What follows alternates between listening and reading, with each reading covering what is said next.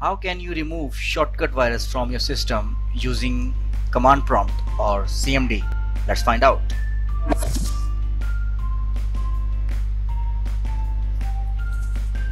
Hey, hello everyone. I'm Karan from Bharat and first of all to remove the shortcut virus you need to open CMD just open CMD simply and write this command to find if there is any VBS file because shortcut virus is a visual basic file VBS script.